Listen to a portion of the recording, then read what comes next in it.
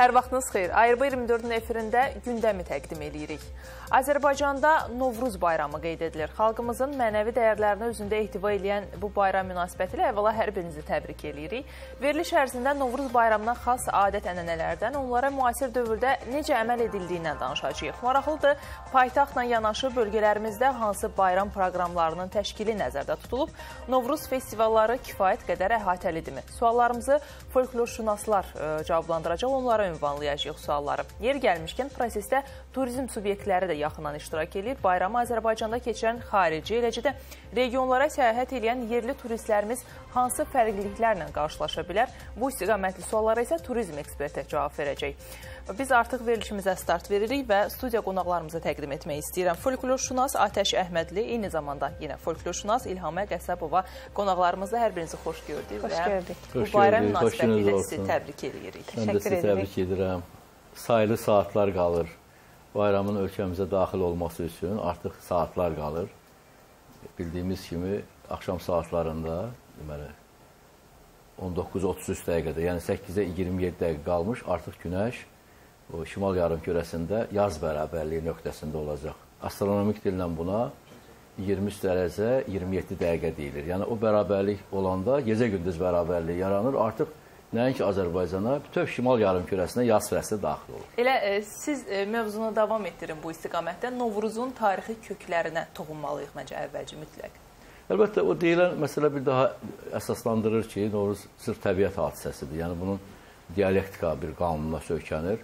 Hər il bildiyimiz kimi yer günəş ətrafında bir illik dövriyyəsi, buna e, elmdə tropik il deyirlər. Tropik ilin uzunluğuna götürərək 365 gün E, düzdür, bu bəzən e, müəyyən saatlar yığılır. Bilirik ki, fevral ayı 4 ildən bir 29 gün olur.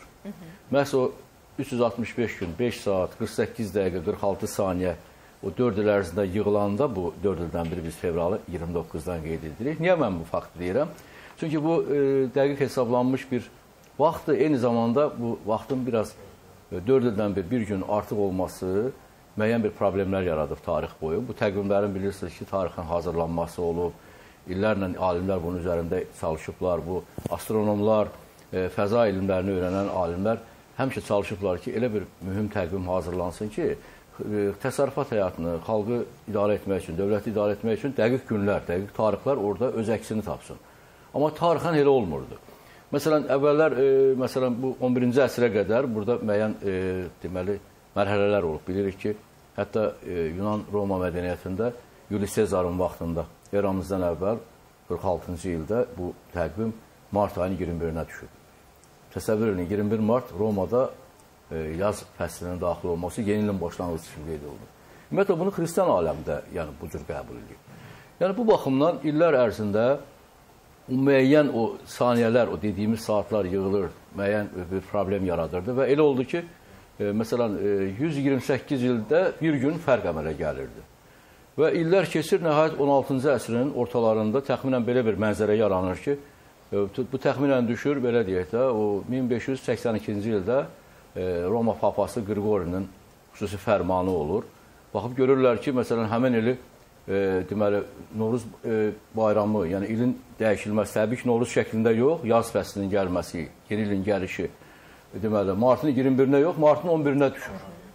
Onda belə olan halda bunlar qərar verirlər, o e, geriliyi aradan qaldırmaqdan ötürü birbaşa həmən ilin oktyabrın 4-ündə, e, e, üzr istəyirəm, e, martın 4-ündə birbaşa deməli 4-ündən 15-nə keçirilir. Yəni 11 gün fərq aradan qaldırılır. Bax belə bir e, halda üzr istəyirəm, elə deyəsən oktyabr ayında. Hə, oktyabr ayında, oktyabr qərar o vaxt verilir. Oktyabr ayının 4-ündən birbaşa 15-nə keçirilir və həmən o fərq ortadan götürülür ki, yenə də bu yaz fəslinin deməli vaxtı gəlsin düşsün mart ayının 21-nə.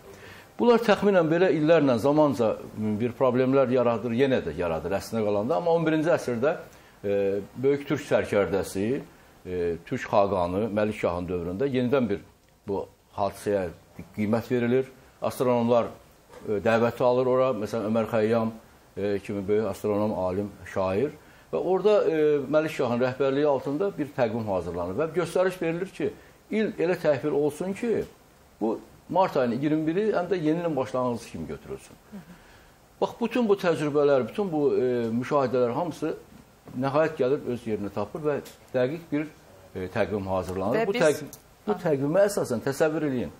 4500 ildə cəmi bir gün fərq əmələ gəlir. Bu çox dəqiqləşdirilmiş, çox e, belə deyək də işlənmiş, səliqəli, sistemləşdirilmiş bir təqvim idi. 4500 ildə bir gün. Amma əvvəllər bu fərq daha çox olur, daha böyük olurdu. Məsələn bilirik ki, biz e, bu oktyabr inqilabından sonra Rusiyada bu e, dekret verilir. Proletariatın o rəhbəri e, belə deyək də bizim vaxtilə dahi hesab etdiyimiz Leninin göstərişi ilə deməli yanvar ayının 31-dən birbaşa fevralın 14-də keçirilir. Bax həmin Rusiyada da baş verib bu hadisə. Həmin o e, indiki o yeni il, köhnə il, o Stari Novgod deyirlər ha. Həmin məsələ də oradan qaynaqlanır. Yəni 31 yanvardan birbaşa keçirilir 14 fevrala. Bax bütün bunlar hamısı göstərir ki, Türk dünyasının e, alimləri, Türk düşüncəsi, Türk dünya görüşü bu bayramın üzərində daha çox haqqı var. Bu bayramın e, deməli e, qorunmasında, onun yaşadılmasında, onun sistemləşdirilməsində hər bir sahədə onun izlərini biz o türk təfəkkürünün izlərini biz görə bilirik. Eyni zamanda o adət, ənənələrin, milli ünsürlərin qorunub saxlanması üçün də əlimizdən gələni eləyirik. Düz müəyyən məqamlarda hiss olunur ki, əvvəlki illərdəki qədər e, biz bunlara, bu adətlərə əməl etmirik, amma e, ən azından biz bunu da vurğulamalıyıq ki, e, bu istiqamətdə çalışan şəxslər də çoxdur. Hər il bu istiqamətdə tədbirlər olur, tamaşalar göstərilir, festivallar keçirilir. Mən sözü İlhamə xanıma ötürmək istərdim. Sırf milli bu Novruz bayramı ilə əlaqədar adət-ənənələrin yerinə yetirilməsi baxımından hansıları saxlaya bilmişik, hansılar isə göz ardı edilir. Düzdür, e, bununla bağlı e, təzadlar da yaranır e, bəzi hallarda. Qeyd edirlər ki, məsələn, götürək papaq atdı, papaq atma məsələsini qeyd edirlər ki, bir çoxları bu heç bizim adət-ənənəyə uyğun deyil. Burada müəyyən paradoksal fikirlər yaranır, amma ümumi baxımından bizim adət-ənənələrimiz yaşayır hələ də. Çox sağ olun söz verdiyiniz üçün. Qədim insanlar qışın uzun gecələrini üç yerə bölürlər. Böyük çilə, kiçik çilə və bozay. Bu əslində Novruz bayramına qədərki hazırlıq mərasimidir. Bilirik ki, çilə sözünü 40 rəqəmi ilə bağlayırıq və çilə qışdakı azuqələrin tükəndiyi, yaza çıxma arzuları, təbiətin yatdığı, günəşin bir o qədər istilik vermədiyi bir dönəmlərə denk gəlir. İnsanlar bu çilə gecələrində bir çox rituallar, ayinlər keçirirlər və sübut etməyə çalışırlar ki, bu ağrılı, acılı və acınacaqlı günlərdən qorxmurlar bu ə, xeyrin şər üzərində qələbəsidir. Və insanların böyük əksəriyyəti ə, qədim dövrlərdən, ibtidai insanların təfəkküründə Novruz bayramı həm də yaradılış bayramıdır, oyanış bayramıdır və kainatla bağlayırlar bu bayramı. Və Şuşada məsələn belə gözəl bir ənənə keçirilirdi, çilə gecələri keçirilirdi. Orada bir evi bəzəyirlər, döşəyirlər, insanlar qohum, əqrəba, dost, tanış yığışır ora, musiqiçilər dəvət edirlər və gecədən səhərə qədər qədər çalıb, oxuyub o çilə gecələrinə sinə gəlməyə çalışırlar. Və müəyyən ayinlər icra olunur orada. Xonçalar bəzədilir. Novruz bayramını təbii ki, xonçasız təsəvvür etmək mümkün deyil. Və bu xonçanın başına bir nəfər xan dayanır. Bu xan həmin Novruz ərəfəsindəki kim ki gecikir, onlara cəza verir, yüngül cəza. Biri oxuyur, biri oynayır, biri gülməli, baməzə bir şey danışır və xonçanı qoruyur. Bu toy mərasimlərimizdə də var. Bir də məsələn qədim insanların ə, həmin dövrdə olan insanların yaşayış tərzinə baxalım. Onlar müasir e, binalarda, müasir evlərdə yaşamırdı. Evlər qazma damlarda olurdu və bu qazma damlara toplaşan insanların bacasından bayram payı istəyən gənclərimiz var idi. Bu gənclərimiz e, libas dəyişmə, cilt dəyişmə də deyirik, özlərini dəyişirdilər ki, tanınmasınlar və biraz da gülüş doğuracaq dərəcədə baməzə sözlərlə e, o damın bacasından qurşaq sallayardılar, torba sallayardılar. Bayram payı, nüfus payı götürərdilər özləri üçün. Və ə, bu adətlərimiz təbii ki, bu gün müəyyən mənada dəyişikliyə uğrasa belə mahiyyət etibarilə bayram paylaşmaq deməkdir deyə biz bayram paylarımızı uşaqlarımıza ötürüdük və uşaqlar da gəlib bizim qapılardan alırlar bunu. Amma sizin də dediyiniz kimi bu biraz fərqli donlara düşdü. Təbii ki, zaman öz işini gördü, mühit öz işini gördü. Biz artıq 21-ci əsrdə yaşayırıq deyə biraz adətlərimizdə geriləmələr olsa belə mahiyyətini heç vaxt itirmir. Bəs e, siz Atəş bəy necə Bir düşünürsünüz? əlavəm var, çox gözəl Buyurun. izah elədi. İlhamə xanım çox e, deməli maraqlı açıqlamalar verdi. Məsələ burasındadır ki, bu e, dünya xalqları təbii ki, yaz bayramını verib deyirikdə, Şimal yarımkürəsinin xalqları hamısı qəbul eləyir, yaz fəslinə daxil olur. Məsələn, bahar fəsli kimi.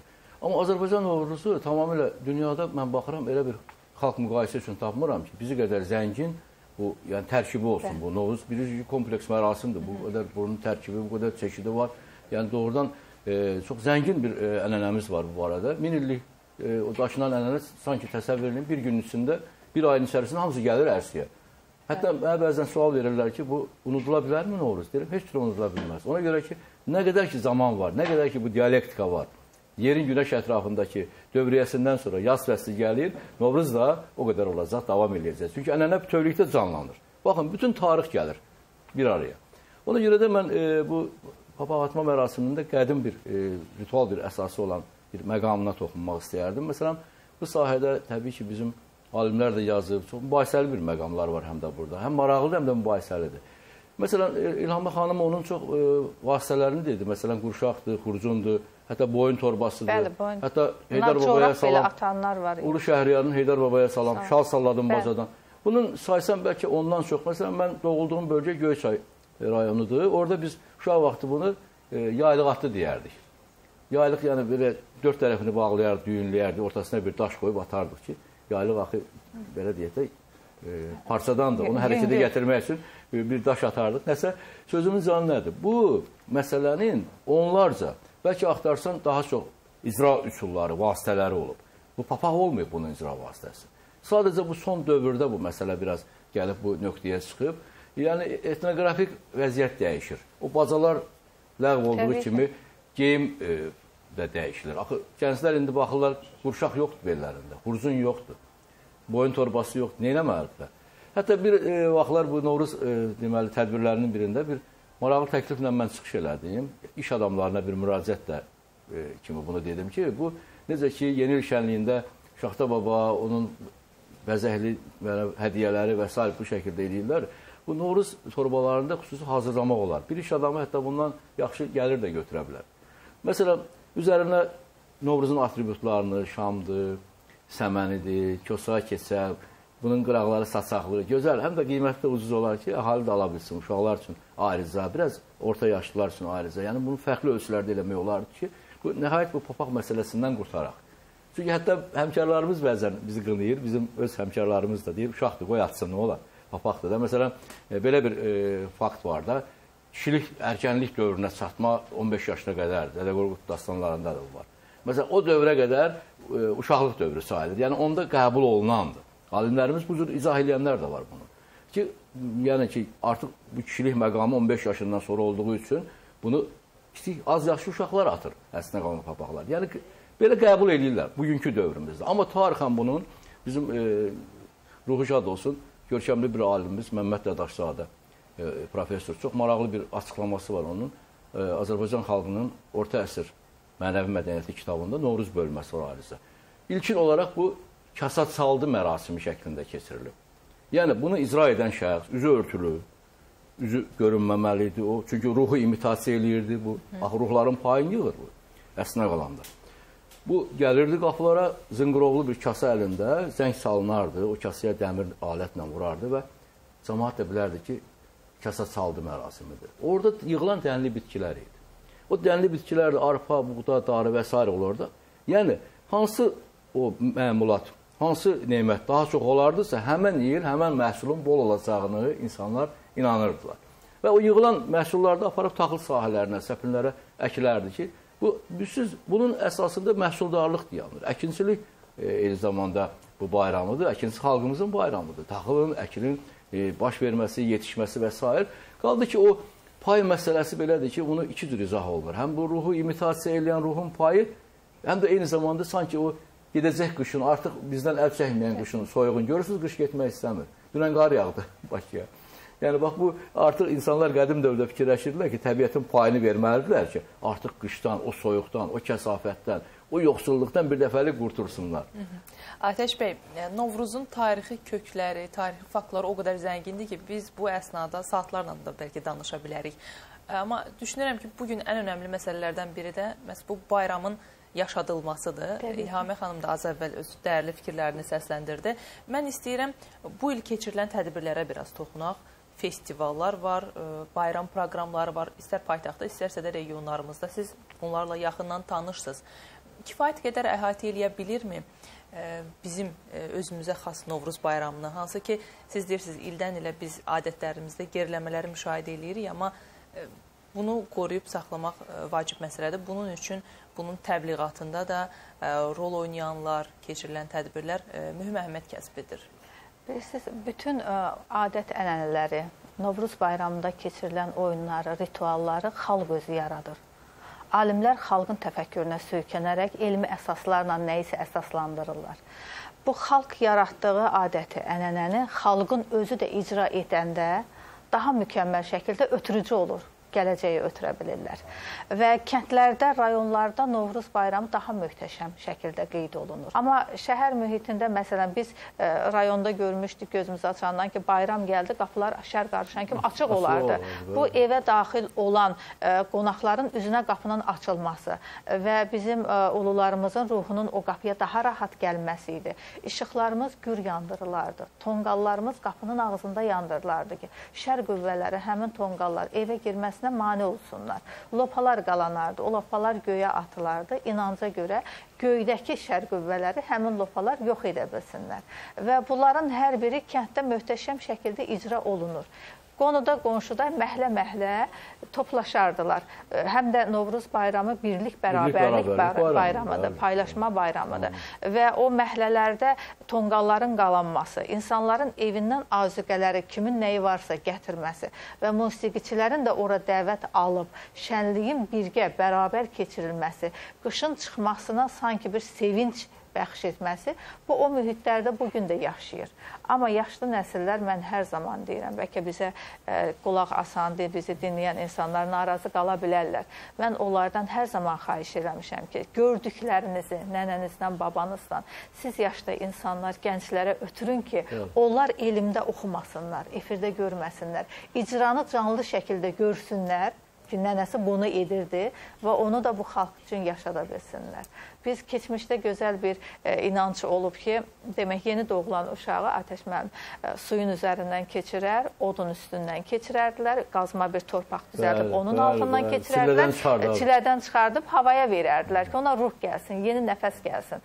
Bunu bugün icra etmək təbii ki, olmur. olmur və olmur. bunu yaşadan insanlar sadəcə arxaikləşdirilmiş ənənələrə çevirə bilirlər. Amma mən e, bölgələrdə görmüşəm, bu Qusarın e, Hil kəndi var. Hər il onu icra edirlər. Efirdən izləmişəm.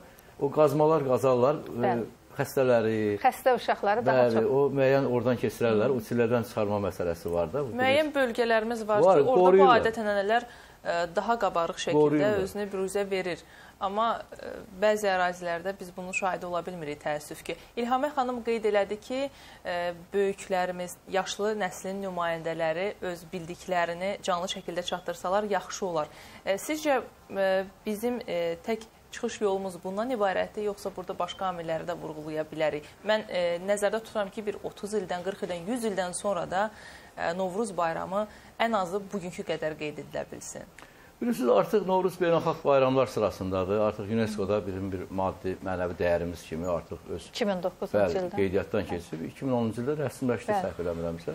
Ölkə başçımızın təşəbbüsü ilə və Azərbaycanın orada aparıcı bir, e, bilirsiniz, orada şərq ölkələri olub. İran, Əfqanistan, e, məsələn, e, belə deyək də, hətta Makedoniya deyəsən, bu bir sıra ölkələr Türkmənistan, Özbəkistan, siyahıda, amma Azərbaycan bu işin önündə gedib daha çox Azərbaycanın haqqı var qeyd etdiyim kimi bayramın üzərində. Və bu artıq beynəlxalq bayram statusu aldıqdan sonra düşünürəm ki, bunun e, ölkəmizdə də böyük e, belə coşqu ilə keçirilməsi və sair məsələlərini müşahidə etmək olur. Məsələn, bu il e, pandemiya dövrünə düşdüyü üçün yəqin ki, bu baş vermədi. Hər il İlaxır çərşənbə çox böyük coşqu ilə keçirilirdi İçəri şəhərin qala qapısı ağzında. O əvvəllər keçirilməzdi. İlaxır çərşənbənin mən Bakıda qeyd olunduğunu belə coşqu ilə görməmişdim. Evlərdə olurdu, amma dövlət Rayon səviyyəsində hə, sözsüz ki, bu son illərdə baş verən hadisələr müəyyən səngitdi bu prosesi. Amma mən düşünürəm ki, bu bayram yaşayır və yaşayacaq. Niyə? Bunun əsas iki e, elementi, aparıcı elementi var ki, bu gün düzdədir. Günəşin yerdə e, deyək, atributu od. Baxın, indi siz axşam vaxtı işdən çıxanda baxın, məsələn, bayram günləri hər həyətdə, hər məhəllədə uşaqlar çalışırlar ki, bir taxta tapıb tonqal yandırsınlar. Mütləq tonqal yandırırlar. O tonqallar çatılmalıdır. Mümkün deyil o e, olmasın. Bir əsas oddur, günəşdir, istilikdir, hərarətdir ki, baharın əsas e, aparıcı elementi budur. İkincisi isə onun e, yaratdığı məhsul, nemət, Allah Taala'nın bizə bəxş etdiyi bir alternativsiz bir qida olaraq buğdanın taxılçılıq həyatının, əkinçilik həyatının başlanması dövrüdür. Bax bu nemətdən də hazırlanan bütün baxın bayram süfrəmizdə bütün çeşidlər hamısı böyük əksəriyyəti, bəlkə də 80-90% o buğdadan hazırlanan un məmulatı və s. Bunlar yaşayır. Xalqımız bunu heç bir qadağan olunmuş dövrlərdə də belə evlərində e, gizlində də olsa bişirərdilər, bişintisini o bacadan deyir tüstü çıxmalıdır, e, iy çıxmalıdır və s. Yəni ona görə də aparıcı elementlər yaşadığı üçün digər elementləri də özü ilə aparacaq. Aytəş bəy, e, bizim hər birimizin diqqətimizi çəkən bir məqam da var. Bu da e, bayram ərəfələrində, bayram günlərində teatrda e, göstərilən tamaşalardır. E, mən də hər il özüm maraqlanıram bununla bağlı. İndi əməkdaşımız İlahə Məmmədova bizə Azərbaycan Dövlət Dram Teatrından birbaşa bağlantıda danışacaq ki, orada hansı tamaşalar sərgilənəcək bayram günlərində. İlahəni salamlayaq. Hər vaxtın xeyir İlahə.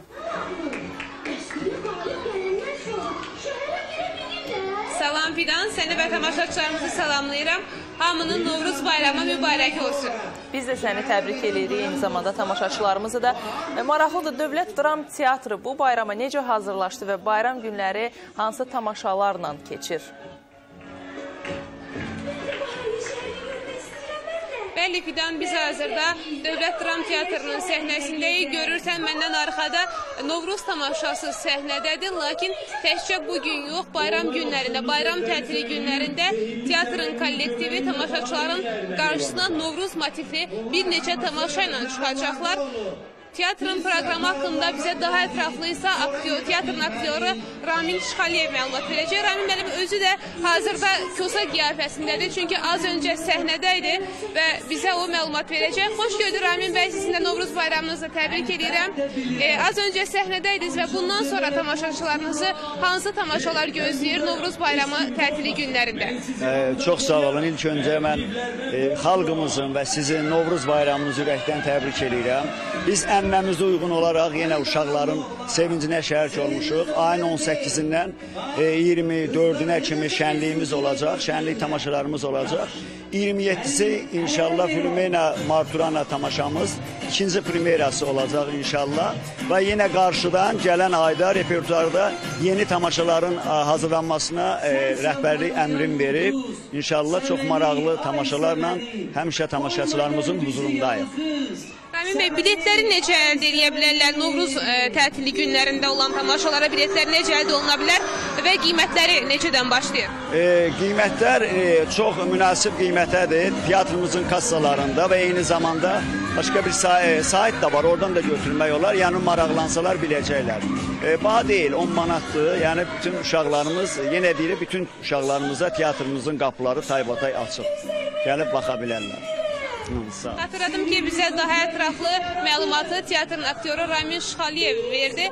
Onu da deyim ki, Novruz tamaşası martın 24-nə qədər davam edəcək. Hər gün e, günorta saat 12-dən başlayaraq hər bir saatdan bir tamaşalar səhnədə olacaq. Bəli, Fidan sözü yenidən sənə ötürürəm. İlahə, çox sağ ol bu e, məlumatlara görə. Biz sənə təşəkkürümüzü bildiririk. İlahə Məmmədova əməkdaşımız birbaşa bağlantıdaydı. Azərbaycan Dövlət Dram Teatrında Novruz bayramı günlərində hansı tamaşalar göstəriləcək? Bu barədə son təfərrüatları bizimlə bölüşdü. E, düşünürəm ki, burada e, valideynlərin də rolu var. O baxımdan ki, uşaqlarını həmin tamaşalara aparsalar, onlar da ən azından mariflənərlər və bu tendensiya davam edir. Teatr böyük bir mədəniyyətdir.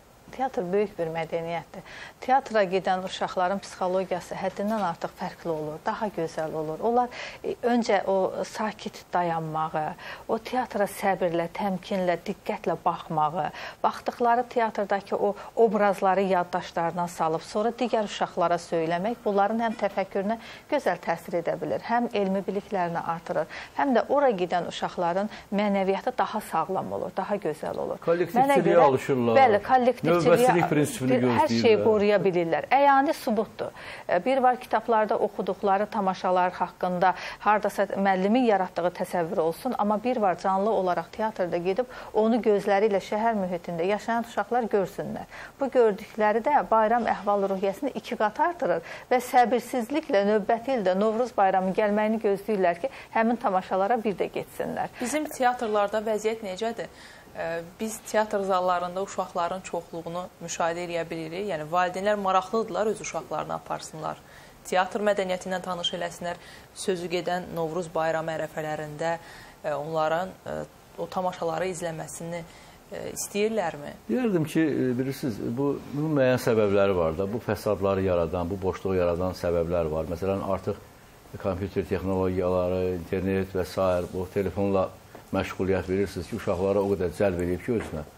Bütün bir çox şeyləri artıq o telefondan izləyirlər. Onunla da istəyirlər qənaətlənsinlər. Amma ə, düşünürəm ki, canlı, ə, yəni tamaşa tamamilə başqadır. İlham xanımın dediyi kimi o uşağın təsəvvüründə ə, o obrazların, o hərəkətlərin, o dinamikanı göstərmək çox mühüm bir vacib şərtdir. Həm də bir nədir əsas məsələ. Bax bu Novruz ə, ərəfəsində göstərilən tamaşaların mən düşünürəm ki, daha geniş e, deməli səpkidə, daha onu müəyyən e, mükəmməl bir işlənməsi qaydasında tamaşaçıya çatdırılması vacibdir. Niyə görə mən bu sözü deyirəm? Bu kosa keçəli bəzən o qədər qına, qınaq obyektinə çevrilir. Hətta bunu e, deyirlər ki, bəziləri deyir ki, bu bizə lazımdır, nə bilim, bu paltarı cırcındırdı, üst-başı belədir, nə bilim, belə qəribə şeylər deyirlər. Amma bu elə deyil. Dünya xalqları, ən mədəni xalqlar qədim teatr olan xalqlardır. Biz məsələn Yunan-Roma mədəniyyətində onların antik dövr teatr e, olduğunu bilirik Bəli, və dünyaya da onlar bunu ilə çıxırlar və çox böyük də nüfuz qazanıblar. Amma biz e, Kosağa keçəl məsələlərini düzgün izah eləməliyik. Məsələn, bax indi mən baxdım, o Kosanın biraz klassik bir obrazına yaxınlaşmış şəkildə təqdimatı var idi. Çünki əksər yerdə bunu çox qırmızı deyirlər. Biraz klon şəklində salanda təbii ki, biraz əcaib görünür. Mən o obrazın klassik formada təqdimatını istəyərdim. Necə o 7 oğul istərəm filmində ki, gözəl o yaradıblar o klassik formada. Çünki Kosa belə baxanda həm də sadə məsələ deyil. Bizim xalqın düşüncəsinə siz fikir verin. Təbiətin ilkinliyini onun e, teatr mədəniyyətində, onun Kosanın qismində onu obrazlaşdırıb, teatrlaşdırıb. Bu çox qədimdir, ən arxaik nümunədir. Hətta mən deyərdim ki, Yunan-Roma mədəniyyətindən də bəlkə qədim dövrlərə gedən bu teatral ünsürlərdir. Kosa iki canlıdır, həm qışı, həm, həm yazı təmsil edir. Kosanın üzündə tük yoxdur, nədir? Qışda Qış. yoxsulluqdur, aclıqdır. Hər yer bilirsiniz ki, qara rəngdə, boz rəngdə. Eyni zamanda Kosa e, bilirsiniz, e, obrazlılığın bir tipidir. Yəni çox maraqlı bir obrazdır. Var tipikləşdirilmiş obraz. Tutalım ki, biz deyirik ki, məsələn, Hacıqara xəsis tipdir da. Bu tipikləşdirilmiş xəsis obrazıdır. Məsələn, e, Jean Baptiste Malyerin də Qarpagon xəsisi var. Hətta Axundovun ondan iqtibas etdiyi müəyyən təcrübə götürdüyü deyilir. Bu tipikləşdirilmiş. Amma Kosada obrazlılığın tipidir. Buna teatrda, sənətdə grotesk deyirlər. Grotesk yəni obrazlılığın tipi. Baxın, neçə dənə obrazı özündə təcəssüm etdirir. Həm qışı, həm yazı, həm onun o şişman papağı təşkilat başında, əynində ləbbadəsi, uzun ağ köynəyi, o bir döşəkçə də qoyur, belin bağlayır, onun qarın qulluğuna, e, iki canlılığına işarədir və o üzərindən qurşaq bağlayır, çömçə keçirdir, onun qarın qulluğuna işarədir. Zınqırovlar asır, onun məsəhkə tamaşa çıxartması. Görün nə qədər obrazlılıq Hər bir var. elementi Hər bir elementin çox gözəl var. buyurdunuz. Bunlar bütün obrazlılığın tipi olan dünya teatr sənətində nadir nümunələrdir ki, biz bunu qorumalıyıq. Atəş bəy, bu məsələ ətrafında da danışdıq. Mən bir istiqamətə yenə toxunmaq istəyirəm. Sırf bölgələrdə keçirilən Novruz bayramı ilə bağlı. İlhamə xanım, lokal xarakter daşıyır daha çox və müəyyən bölgələrimizdə daha yaxşı qeyd edilir. Müəyyən bölgələrdə nisbətən bir neçə adət-ənənə ilə bu bayramın qeyd edildiyini müşahidə edirik. Amma istəyərdik ki, bu beynəlxalq səviyyədə keçirilən bir bayram olsun. Bizim bölgələrimizin buna potensialı var sizcə? Mənə görə var. Nə mənada var? Bax biz e, Qarabağ folklorunu toplayanda oradan baxırıq ki, Qarabağda Novruz bayramında cıdıra çıxan atlarımız olub. at yarışları keçirilib və hər bir gənc oğlan orada ürəyində bir niyyət edib, bir atı nişanlayıb, o at birinciliyə çıxarsa onun arzusu yerinə yetirilib. İndi bu gün Faxralı kəndində, Borçalı tərəfdə bu adət keçirilir və birinciliyə qalib olan atlarımıza qırmızı kəlağayı belə bağışlaya bilirlər. Bu adətlərdən əlavə Qazax bölgəsində, Qərb bölgəsində. Xüsusən Salahlıda. Bəli, Salahlı kəndində möhtəşəm bir Novruz bayramının bütün ayinləri icra olunur çox gözəl şəkildə keçirilir. Dəlikül filmində biz Dəlikül, bunun açıq nümunəsini görürük. Həm də o biraz da hələ bəsitdir. Hə, Sovet dövründə ona görə bə bəsit göstərilir. Amma bunu ə, nümayiş etdirib göstərmək üçün, bunu ə, festivallara çıxartmaq olar, bunu çəkib dünya səviyyəsində göstərmək olar. İnanın ki, hələ Qazağın özündə ətraf kəndlərin belə insanları o kəndə Salahlıya gedirlər ki, məhz İlaxır çərşənbəni orada keçirsinlər. O bir evə getmirlər xalqın içinə gedirlər. Xalq özü də çöldə olur. Və Novruz bayramı ərəfəsində bu ilaxır çərşənbədə libas dəyişmə, oğlanlarımız qız paltarı geyinər, qrimlənər, bəzənər. Təbii ki, burada da onların tanınmaması məsələsi var və qızlarımız oğlan paltarı geyinərlər, qapı-qapı gəzərlər. O gəzdikləri qapıdan bayram payı alıb və bayramı o qapıda keçirərlər, nəmər alarlar. Və ən gözəl adət-ənənələrimizdən də biri həmin ərəfədə bütün kənddə lopaların yandırılmasıdır. Hər kəsin evində bir xonça var. Kimin qapısına gedirsən, əlində sinidə xonça da sənin qabağına şirniyyat gətirir ki, sən oradan bir təam götürəsən. Bunu çəkib bu gün dünyaya nümayiş etdirmək olar və bunu çəkib ə, filmlərimizin içərisində göstərmək olar. Və bir digər istiqamətdə məsələn turizm baxımından Bəli. turistləri cəlb eləmək olar, xarici turistləri ki, Çox onlar gözəl. məsələn Qazağın adını çəkdiniz. Orada ə, Novruz bayramının necə təşkil olunduğunun şahidi olsunlar. Yeri gəlmişkən bu mövzuda biz müzakirə etmək istəyirik. İndi birbaşa bağlantıda bizi turizm şirkətinin rəhbəri Rəhman Quliyev gözləyir. Rəhman bəy, salam. Salam, hər kəs salamlayıram. Bayramınız mübarək olsun. Sizinlə bahəm biz sizi təbrik edirik. Rəhman bəy, biz studiyada müzakirələr aparırıq. Novruz adət-ənənələrindən danışırıq. Bayramın ölkəmizdə necə qeyd edilməsi, hansı tədbirlərin və festivalların keçirilməsi müzakirə mövzumuzdur. Və görünən odur ki, xarici turistləri cəlb etmək baxımından e, biz burada yaxşı potensiala malikik. E, Əvvəlcə onu soruşaq ki, xarici turistlər bugün e, bu günlərdə, bu il e, Novruz bayramında Azərbaycana nə qədər maraq göstəriblər və xüsusilə də hansı bölgələrə?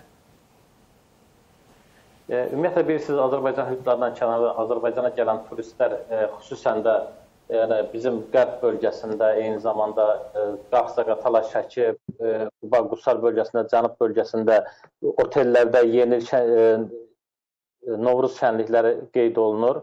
Yəni o, e, orada 5 ulduz otellərinin demək olar ki, böyük əksəriyyətində Novruz şənlikləri qeyd olunur. Bu da e, əcnəbi turistlərin böyük marağına səbəb olur, eyni zamanda yerli turistlərin də marağına səbəb olur. E, bilirsiniz, bu əlamətlər günlərdə e, daha öncədən bir aydan qabaq, daha da qabaq e, otellər artıq demək olar ki, dolmuşdur. E, e, hesab edirəm ki, e, bu ənənəvi e, hal alsa, gələcəkdə də Novruz bayramını daha da geniş şəkildə biz e, tanıtsaq, e, hələ üstəlik Qarabağ bölgəsində də Şuşada, e, Kəlbəcərdə, Laçında, Zəngilanda, Qubadlıda gələcək günlərdə biz gələcək illərdə e, Novruz festivalını daha geniş şəkildə keçsək, e, xarici turistlərin böyük marağına səbəb olar və e, turist axınını daha da mütəmadiləşdirərik. Bugünkü gündə e, qara ümumiyyətlə bölgələrimizdə olan otellərdə sıxlıq müşahidə olunur. Bu da e, bilirsiniz indi artıq həm Novruz bayramında eyni zamanda bilirsiniz bu qar yağışı var dağlıq rayonlarda. Bu da ikinci bir böyük marağa səbəb olub həm əcnəbi turistlərə, həm də yerli turistlərə. E, e, indi bugünkü gündə otellərdə də biraz qiymət artımı var. Bu da təbii haldır. Çünki artıq otellərdə standart otaqlar satılıb qutarıb bir neçə ay bundan qabaq yuxarı kateqoriya, yüksək kateqoriyalı otaqlar qalıb. Bu da e, öz növbəsində yəni otellərin bahalılığına gətirib çıxardır. E, cənub bölgəsində yəni e, nisbətən ucuzdur otellər, yəni bu qar olmadığına görə biraz ora axın azdır, amma şimal bölgəsində bugünkü gündə 200-250 manatdan başlayan otellər mövcuddur. Yəni 5 ulduz otellər, 4 ulduz otellər 100-150 manat civarında dəyişir. Yəni bugünkü gündə e, bölgələrimizdə olan otellər Novruz paketi satır. Həmin Novruz paketinin e, Novruz paketində e, qidalanma, üç dəfə qidalanma, yəni all inclusive konsepti ilə çalışırlar. Təbii ki, bu da arzu olunandır. Bu həm əcnəbi turistlərin böyük marağına səbəb olur, həm də yerli turistlər üçün də əlverişlidir. Çünki turistlər bölgələrə axın edəndə, böl bölgələrə gedəndə Yəni istər-istəməz orada e, bilirsə indi artıq e, bayram günü də olsa, yəni yaz dönəmi də olsa, e, indiki vaxtda biraz havalar da nisbətən soyuq keçir. Ona görə də otellərdən qırağa çıxmaq e, e, turistlər üçün biraz çətindir. Əlverişli şərait yoxdur, hava şəraiti yoxdur. Bunun üçün də oteldə qalıb gündə 3 dəfə qidalanma o e, müştərilər üçün, turistlər üçün daha əlverişlidir. Bu gələcəkdə də, yəni otellər bu tendensiyanı işləsələr, yəni bu e, ultra konseptini e, qüvvədə saxlasalar, hesab edirəm ki, yəni gələcək günlərdə də, nəinki əlamətlər günlərdə, yay dövründə də, bütün fəsillərdə də yəni biz e, turist axınını daha da sürətləndirə bilərik bölgələrə. Bəy, e, siz müəyyən bölgələri qeyd etdiniz, amma bu bütün e, Azərbaycanı əhatə etmir təəssüf ki. Məsələn, dediyiniz bölgələrdə 5 ulduzlu, 4 ulduzlu otellər var və onlar müəyyən xidmətlər təklif edirlər, proqramlar, Novruz bayramı ilə əlaqədar proqramlar təklif edirlər. Amma elə bölgələrimiz var ki, orada 5 ulduzlu, 4 ulduzlu otellərə rast gəlinmir, amma xarici turistləri ora cəlb etsək, biz daha çox gəlir də əldə edə bilərik, daha çox marağa səbəb ola bilər. Bəlkə də Novruz bayramının beynəlxalq səviyyədə keçirilməsinə də bu kifayət qədər ciddi dəstək göstərə bilər. Aydındır. Ümumiyyətlə bu ə, e, otel inşası belə bir şeydir ki, bunlar ə, e, tələbə uyğun həyata keçirilir. Əlbəttə ki, bu birbaşa sahibkarların ə, e, belə deyim fəaliyyəti ilə əlaqədardır. E, sahibkar da təbii ki, tələb olunan yerə investisiya yatırır. Bugünkü gündə e, şimal bölgəsində, yəni bəzi rayonlar Quba, Qusar, eyni zamanda Şəki, Qaxza, Qatala, Balakən, e, cənub bölgəsində e, Lənkəran, Lerik, e, Astara bu kimi bölgələrə investisiya yatırmağı daha e, məqbul hesab edirlər. Çünki e, həm təbiətinə görə, həm iqliminə görə, əlbəttə ki, yəni Aran rayonlarında biraz turistlərin yay dövründə hərəkəti isti hava şəraitinə görə, rütubətliyə görə belə çətinlik yaradır deyən investorlar da, yəni otel investorlar da həmin bölgəyə otel investisiya yatırmağı məqbul hesab eləmirlər. O o baxımdan da Yəni turistik bütün dünya praktikasında da belədir. Yəni e, dünya Avropa ölkələrinə də getsəz baxarsınız, yəni e, elə bir e, sahil, böyük bir ərazilər var ki, saatlarla yol getsən orada e, ümumiyyətlə nəinki yaşayış, e, hətta otel yoxdur, bir yaşam müəssisəsi də yoxdur. Bu da yəni ki, təbii ki, yəni orada coğrafi mövqedən də çox şey asılıdır. Biz bugünkü gündə yəni e, böyük bir kompleks, yəni mərkəzi rayon, Aran rayonlarında böyük bir kompleks yaratmaqla e, hesab edirəm ki, bu turisti ora cəlb eləmək o qədər də asan olmayacaq. Biz bugünkü gündən sonra biz gücü verməliyik Qarabağ bölgəsinə, orada otellərin inşasına, nəinki e, luxury otellər, yüksək kateqoriya otellər, həmçinin e, ekonom büdcəli otellər də tikməliyik ki, hər bir kateqoriyaya aid olan turistlər ölkəmizə gəlsin və o e, ümumiyyətlə e, turistin ölkəmizə gəlməyi e, hesab edirəm ki, o e, 5 ulduz otelə gəldi, 4 ulduz otelə gəldi, ümumiyyətlə hostelə gəldi. Bunun bizim üçün e, o qədər e, böyük əhəmiyyəti yoxdur. Əhəmiyyəti olan odur ki, sayı artıraq. Say turistin sayı artdıqca ölkəyə gəlir gətirəcək. Hər bir gələn turistdən də e, e, hər bir vətəndaşımız bəhrələnir. E, aeroportdan düşəndən e, Qazağın ən ucqar bir kəndinə, belə olsun Qarabağın ən, ən ucqar bir bölgəsində biz otel e, yaratsaq, bir kompleks, turistik kompleks yaratsaq, əlbəttə ki, orada bütün, yəni orada yaşayan, hətta işləyən hamısı yerli sakinlər olacaq. Bu da təbii ki, turistlərin gəlməsindən bəhrələnəcəkdir. Yəni e, hesab edirəm ki, biz bunu yaxın gələcəkdə e, yaxın 10 ildə Qarabağ bölgəsində, yəni digər rayonlarımız kimi e, böyük bir e, turistik məkana çevirəcəyik. E, gələn turistlər də, yəni e, həm əcnəbi turistlər, həm yerli turistlər bundan faydalanacaqdır. Rəhman bəy, minnətdarıq sizə.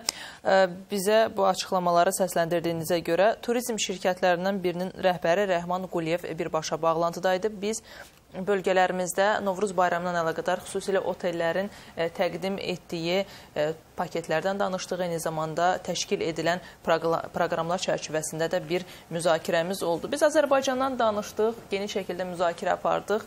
Digər ölkə ölkələrdə də Novruz bayramı qeyd olunur. Düz dedik, Azərbaycandakı kimi möhtəşəm olmur. Yaxın şərq ölkələrində, bəli, Afqanistanda, amma... məsələn, İranda, Necə əməl edirlər Orta Asiya respublikalarında Türkmenistandır. Orada necə yaşadılar? Özbəkistan çox gözəl, ənənə çox gözəl yaşanır. Çünki bu qədim keçirilən e, həmən tarixi ərazilərdir ki, vaxtilə istəyir zərdüştlük dönəmində, yəni ondan əvvəlki dönəmlərdə bu ərazilər bütövlükdə e, yəni bu yaz fəslinin qəbul olunmasını belə möhtəşəm şəkildə yaşadıblar. Ona görə də ənənəni bu gün davam etdirirlər. Orta Asiya xalqları xüsusilə özəlliklə Amma onlar təkcə bayram gününü qeyd edirlər. Bir o qədər bizi- önəmli. Bizi Hə, qədər belə bizi zəngin deyil, Azərbaycan tərkibli. qədər, bəli, bu qədər. Məsələn, bir çox türk xalqlarında çərşənbələr qeyd olunmur. Qeyd olunmur. Şübhəsiz, yəni bunlar Biz bugün Ateş bəy, fikriniz var idi, istifadə eləyin. Bu gün bayaq Rəhman müəllim danışanda birdən ağlıma gəldi. Məsələn, bu gün Qarabağda biz bərpa edəndən sonrakı adət-ənənələrimiz yaşayacaq. Kəlbəcərin o maral oyunu keçiriləcək oyunu, orada. bəli, bəli, bəli, bütün ayinlər, rituallar icra olunduqca bunu da reklam kimi ə, bütün dünyaya da yayanda ki, məhz Azərbaycanda bu qədər möhtəşəm şəkildə Novruz bayramı icra olunur. Kəndirbazlarımız mütləq orada rol, rol alacaqlar. Bizim pəhləvanlarımız rol alacaqlar. Zorxanalar Mütləq deyirlər, bəli, zorxanalar, ə, qurşaq tutmalar var. Bütün oyunlar keçirilirdi Sovet dönəmində, amma son zamanlar təəssüf bunlar yoxdur. Nəhrələrimiz asılırdı, saclar qurulur və çörək bişirilirdi ki, Novruz bayramının ən ömdə ə, işlərindən biri də ruzi bərəkət olan çörəklərimizin öz qapımızda bişirilib Bütün bayram ənənə. süfrələrinə qoyulması idi. Təsəvvür o edin, bütün ənənə canlanır. Bütün ənənə nə varsa keçmişdə gəlir bu günümüzə. Həmin Bundan günə- gözəl nə var ki? Siz hər birini çox ə, detallı şəkildə təhlil elədiniz. Ateş bəy, bizim tarix kitablarımızda, tarixi motivlərdə ə, bu danışdıqlarımız nə qədər öz əksini tapıb? Nə qədər insan, nə qədər alim, folklorşünas ə, bu proseslərdən ə, məlumatlıdır? Bu gün e, ümumiyyətlə bir folklor institutu olaraq eyni zamanda İlhamə xanımla bu gün həmkarım çalışdığımız institut bu məsələ ilə bağlı ardıcıl tədqiqatlar aparır. E, Mən düzdür bizdə mərasim şöbəsi var, bu mərasimləri öyrənir, amma mən düşünürəm ki, gələcəkdə bəlkə ayrıca bir Novruzşünaslıq bəlkə də bir şöbəsi yaradıldı. Çünki bu o qədər e, geniş, zəngin çeşidə malik olan bir bayramdır ki, bunun ayrı sahələrini öyrənilməsi, bunun geniş təbliğ olunması və s. məsələlər yəqin ki, zamankən tələb eləyəcək ki, ayrıca şöbə şəklində bu məsələlər öyrənilsin. Bu zamanın işidir, şübhəsiz. Və alimlərimizin töhfələri çoxdur. Hər il Novruzşünaslıq xüsusi olaraq bir proqram şəklində bizdə müzakirə olunur. Yeni nailiyyətlər, e, yeni məqalələr, yeni kitablar orada müzakirə olunur. Hansı yenilikləri qeyd edirlər? Bax, məsələn, bizim İlhamə xanımın e, ilə bir şöbədə çalışan Şakir Albaliyevin, bir- yeni bir kitabı nəşr olundu. Novruz bayramı ilə bayramı. əlaqədar. Hə, çox maraqlı bir kitabla e, artıq e, onu bilirsiniz, həm də do e, doktorluq dissertasiyasının mövzusudur. Bir də Novruz bayramı elə bir mövzudur ki, burada yeni tədqiqatlar deyəndə yeni toplama işlərindən məşğul olurlar. Xalqın yaddaşında olan, unudulan və çox da bilinməyən bölgəsəl olaraq hər bölgənin özünün adət-ənənəsi var. Bölgəsəl olaraq o toplamalarda yeni materialların ə, təqdim edilməsi həm oxucu üçün maraqlıdır, həm də tədqiqatçılar üçün maraqlıdır. Bir də müqayisəli tipologiyaların aparılması. Məsələn, Qərb bölgəsində, Qazax bölgəsində olsun, istər Qarabağda olsun, istər Şərq bölgəsində olsun, Naxçıvanda olsun, adət-ənənələrdə hətta çərşənbələrin özünün belə adlarının fərqli deyilməsi, o çərşənbələrdə icra olunan adətlərin yerinə yetirilməsi bir müqayisə şəklində tipoloji olaraq araşdırmalara cəlb olunur. Ən Müqayisələrdə vacib- çox maraqlı məqamlar Ortaya bir nəticə çıxır və ən vacib məsələlərdən biri toplama işləridir ki, bu gün folklor institutunda çox geniş miqyasda bəli, Danışdıqca toplamaları var. məqamlar Amma mən kitablardan deyə bilərdim. Tamam xanım, kitablarda məsələn bizim Mifologiya şöbəsinin müdiri Seyfəddin Rızasoyun Muğanlıda Novruz bayramı e, yazdığı canlı olaraq. Çox maraqlı. Muğanlı bilirsiniz də karnavalı. Gürcüstanda o qədər e, möhtəşəm keçirilir və yaxud Ağaverdi Xəlilin e, filologiya elmləri üzrə fəlsəfə doktoru Ağaverdi Xəlilin Ateş bəy, e, təbii yeni bir ki, kitabı nəşr olundu. çox genişdir. Türk xalqlarında Novruz bayramı. Bax belə yəni işlərimiz var. Yəni bunları Yaxşıdır ki, var və e, yeni kitablar da yazılsın, yeni tədqiqatlar, toplama işləri aparılsın. Biz sizə çox təşəkkür edirik ki, bu bayram günündə bizə vaxt ayırdınız və Novruz bayramı ilə bağlı bilinən, bilinməyən, unudulan məqamları hər birini ortaya çıxardıq. Bir daha bayramınız mübarək. Sizinlə biz də sizi təbrik edirik. Xalqımızı təbrik edirik. mən də sizin simanızda həm kollektivinizdə, həm bizi dinləyənlərin hər birini bayram münasibəti ilə ürəkdən Təşəkkür eləyirik. Tamaşaçılarımız üçün bildirim folklorşünas Atəş Əhmədli və İlhamə Qəsəbova studiyamızın qonaqları idi. E, Bir daha Novruz bayramınızı təbrik eləyirik e, və e, burada efirimizi bu günlük bu proqramımızı yekunlaşdırırıq. Gündəm bitir. Növbəti efirlərdə görüşəcəyik, fərqli mövzular müzakirə ediləcək. Özünüzə yaxşı baxın. Hələlik.